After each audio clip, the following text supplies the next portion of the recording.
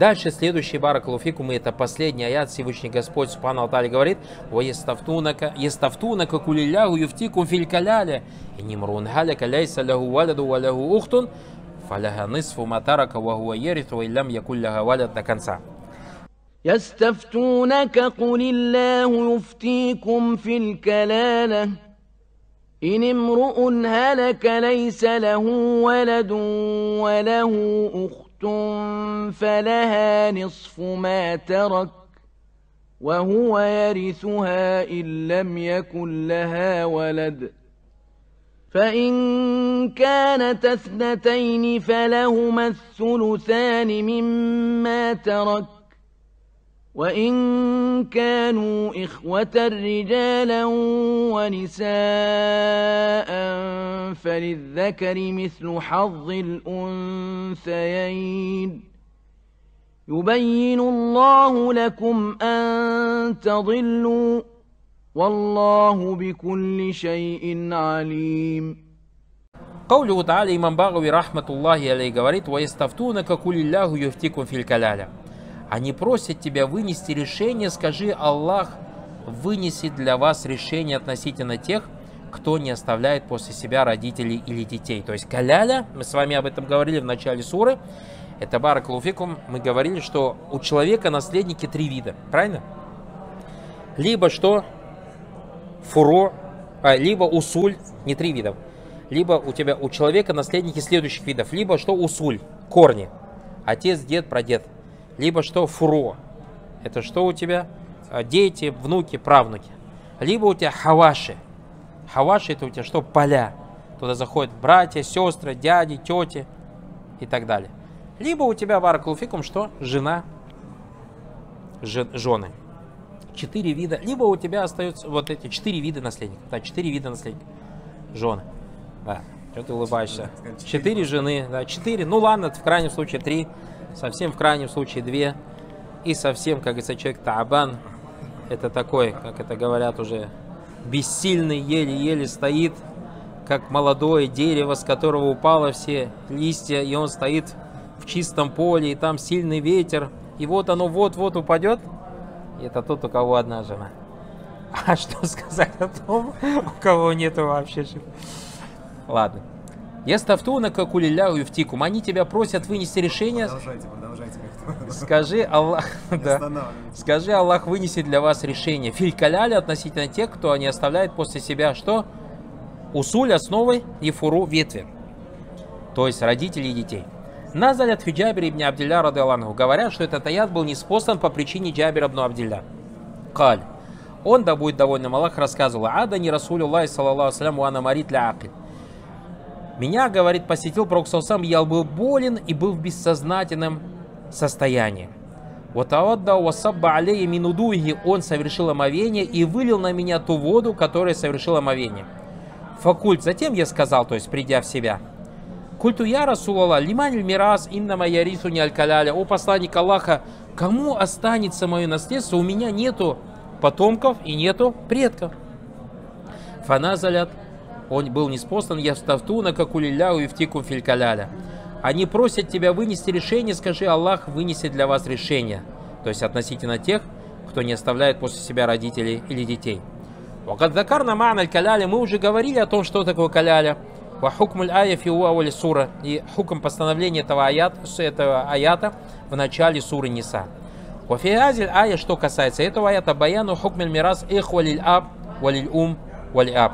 В этом же аяте, братья, разъяснение, каково постановление, то есть каков удел наследства братьев по отцу или же родных братьев. У нас бывают братья родные, имеется в виду по брату, по отцу, по матери – ой, извиняюсь, по отцу, по матери, это называется как ахшакык. И бывает брат только по матери, бывает брат только по отцу. Вот здесь речь идет о наследниках родных шакык или только по отцу. Брата только по отцу, потому что братья и сестры по матери, мы они говорили в начале аят, в начале суры. Каулюху ястафтунак, в этом аяте они просят тебя вынести решение, а естахбирунак алюнак, то есть узнают у тебя. Кули ягу юфтикум филь каляли, скажи, Аллах вынесет для вас решение относительно каляли. И немрун халя каляйса лягу валят, если какой-то человек умрет, и у него нету ребенка, то есть как нету ребенка? Будь это сын или будь это дочь. Если есть сын, как говорят ученые, давайте раз немножко вспомним. Хорошо. А если у него есть сын, то сестра ничего не берет. И у нее сестра, Каляли это же сестра, то она ничего берет. Если есть дочка, то она берет свою обязательную долю, остальное забирает кто? Брат. Валягу ухтун. И у него есть сестра, но есть сестра, то есть родная или по отцу. Положение сестры по матери мы упоминали в начале суры в 12 аяте. Фаляганы фуматара, кто ей принадлежит половина того, что он оставил. Половина того, что он оставил. То есть умирает какой-то человек. У него нету детей. И есть у него сестра. Ей достается половина того, что он оставил. То есть это фарт. Ее что? Фарт. То есть он, ее родной брат или брат по отцу, Вагуа Ярифуга тоже берет у нее наследство. То есть, если умирает его родная сестра, сестра по отцу. Я не замататель ухт, если умирает ухт, фаджами умирает фалях, то все наследство забирает кто? Брат. Но это при условии, иллям якулля гавалят, если у нее нету своих детей. И также нету мужа. Это тоже очень важный момент, на это указывает аяты в суре Ниса. А если есть муж, то тогда брат забирает то, что остается после мужа. Потому что муж, он кто? Из Асабуль Фарайт, а брат является кем? Из Асаба. В этом аяте, братья, нет упоминания мужа, так как вопрос, речь идет о чем? Кто-то говорит, почему тогда здесь не упомянут? Потому что речь идет про каляля, про тех, у кого нету, про тех, у кого есть только хаваши, то есть, как мы говорили, поля. Фаинкана ляга ибну фаля лях. Если же у нее есть сын, тогда ничего брату не остается, потому что он его закрывает. Вайнкана валяду унфа, если же ее ребенок это дочка, фаляах и мафадали минфардельбин. После того банат, после того, как дочка или дочери забирает свой фарт, все, что остается, остается брат. Фаинкана тафнатайни фалягума тулюсани мин матарак. Если же их две сестры, то есть умершего брата, то им принадлежит две трети того, что брат им оставил. А радатнайни фасаида, в этом аяте, говорит имам Багу, подразумевается две и больше сестры, то есть им две трети их доля. Вагу анна ман мата валягу ахават фалягунна фулюстан. То есть, если умирает какой-то брат, у которого остались две сестры и больше, то они берут две трети. Уэнкану их вот оричали ниса, если же они являются братьями и сестрами, то есть умер человек, у него есть братья и сестры, фализдакари мислу хаззалюнсаяин, тогда мужчины принадлежит доля равная доле двух женщин. То есть они уже не будут асхабуль фарайт, правильно же? То есть если человек умер, у него есть братья и сестры, братья и сестры, тогда мужчине доля каждых из этих двух То есть у него, например, умерла женщина, и у нее брат и сестра, брат и две сестры. Мы на сколько вопрос делим? На пять частей. Правильно или нет? А, не на пять, на четыре части. Мы делим на четыре части. Потому что мужчина же, как две женщины, на четыре части. И одну часть забирает одна сестра, вторую вторая, а две части забирает брат. Поэтому Потому что при наличии братьев сестра уже не имеет обязательной доли, то есть фарда, правильно? А берут свою долю таасиван. Поэтому в этом вопросе, братья, три положения. Если одна сестра, то она берет, то есть умер брат, и у нее только одна сестра, она берет половину. Если две и больше, то берет, они берут, эти сестры, две третью. Если сестра с братьями, тогда брату две доли сестер. Юбаинуллаху лякуман тадылю. Аллах разъясняет вам это, чтобы вы не впали в заблуждение в этом аяте, братья, опровержение на, на, приветствием на уведение в вопросах имен и атрибутов. Ведь заблуждение, братья, в Акиде хуже, чем заблуждение в вопросе наследства. И если Всевышний Аллах говорит, Аллах разъяснил вам в вопросе наследства, чтобы вы не заблудились, то тем более, значит, Он разъяснил нам в вопросе Акиды, чтобы мы не заблудились. Поэтому Аллах все четко разъяснил в вопросах Акиды, либо в Коране, либо через пророка, саллаллаху алейхи вассалям, достоверной сунне.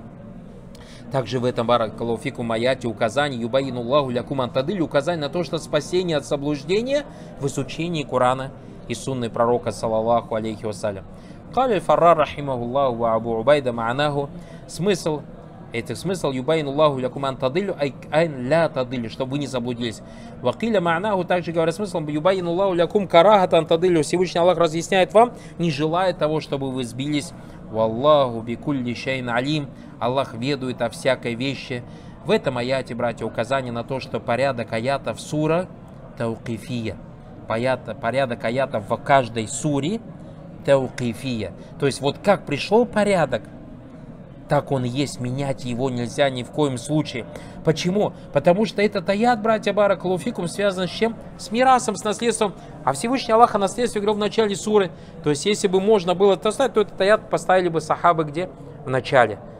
Однако аяты, порядок сур, порядок сур Корана, говорят иштихадия. Но это истина даже иштихад, потому что Пророк сам сказал, моя община не может объединиться на чем? На заблуждений. Поэтому то, как у сахабы установили порядок сур, это сахабы единогласно к этому мнению пришли. Но барак луфикум, то, как аяты в каждой суре отдельно расставлены, то в этом нельзя еще делать. И исходя из этого ученые говорят, что нельзя барак луфикум, когда ты молишься, сначала читать конец суры, потом, например, человек решил в первом рака читать Амана Расулю Бимаунзиля Аляхими Роби, конец суры Бакара. А во втором ракате Аллаху Алиф Ля Мим, Залик так не надо делать потому что ты не по порядку читаешь. Что же касается сур, то никаких проблем нету, если в первом ракате алиф ля мим, Аллаху ля иляха илляху аль хайюл кайюм начал суру Аль Имран, правильно? А во второй ракате Аллаху акбар, алиф ля мим, залик аль фи, во втором ракате начал суру Бакра читать, никаких проблем в этом нету. Также получается на ночь нельзя концовку суры Бакра читать прежде Айталь Курси. Да, надо Айталь Курси читать, потом Аллаху Алям.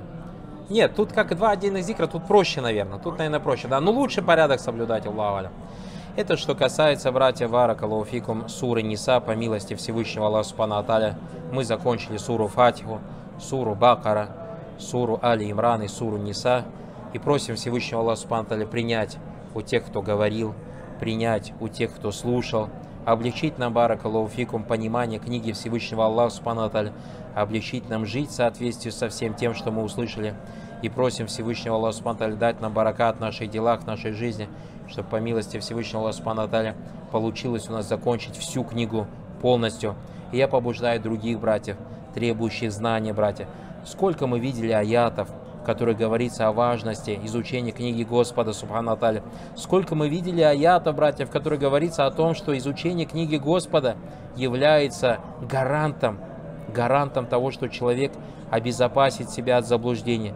Поэтому побуждает других братьев, требующих знаний, взять другие тафсиры и тоже доносить до людей.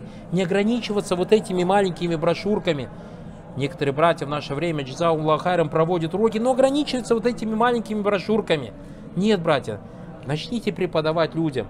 Но братья говорят, ну брат, мы же за эту маленькую брошюрку сейчас заканчиваем за одну дауру, допустим. Да, никаких проблем нету. Пусть у тебя одна даура будет 10 аятов, следующая даура еще 10, следующая даура еще 10. И так, пока ты не закончишь книгу Всевышнего Аллаха. Это основа, братья. Книга Всевышнего Аллаха – это основа.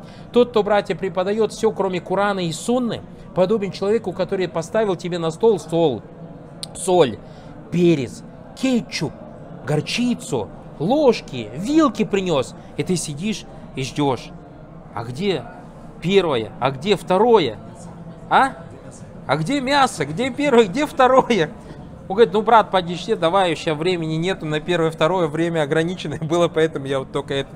Нет, братья, барак лофик. Аллахи, братья, основа это Куран и сунна пророка, саллаллаху алейсалям. هذا والله أعلم. وأعلم. سبحانك اللهم وبحمدك. أشهد أن لا إله إلا أنت. أستغفرك وأتوب إليك. وجزاكم الله خيرا.